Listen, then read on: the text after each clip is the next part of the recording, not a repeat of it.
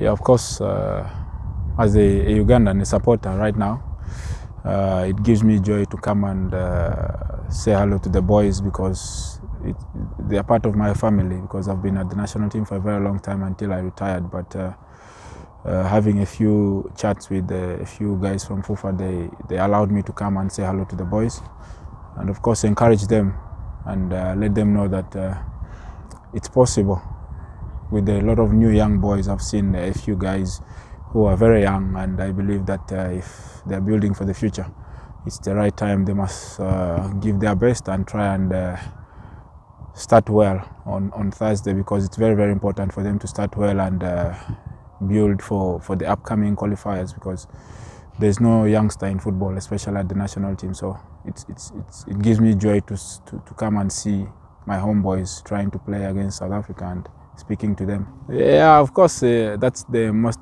uh, experienced part of my life in goalkeeping, and uh, speaking to them first was was really nice, and uh, of course, trying to remind them that uh, you, for Uganda to, to qualify for the previous few campaigns, we were having a lot of clean sheets, so they must give their best, not to do what Denis did, but they must do what they're supposed to do, and that's to do goalkeeping because they haven't they don't have anyone to, to impress. All they need to do is do the job for the for the team and uh, uh, take the team to the next level because they have the potential. I worked with Chigonya, I worked with uh, uh, Lukwago for a very long time, and also Watenga in the previous years, and also when he was at Chippa, we were speaking. So they have the potential. They must just take the the chance and. Uh, give the best to the nation.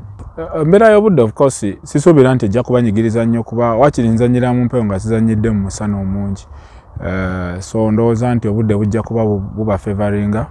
Training esooka ndowooza era ogiraba tebalina nnyo kyamaanyi kyebakolaki uh, kyebafunyeewo nti kibasumbuwa so uh, bajja kumanyira mpolampola wadde nga ennaku balina ntini. Uh, naye nga ndowooza nti maaki ejja kuba nnungi kuba ne babasamba baana bato uh, bayise ttiimu nto nabo bagezaako kuzimba ttiimu mpya etandika kampeyini eddako. So ndowooza nti maaki ejja kubeera nnungi bajja kugiyigiramu ebintu bingi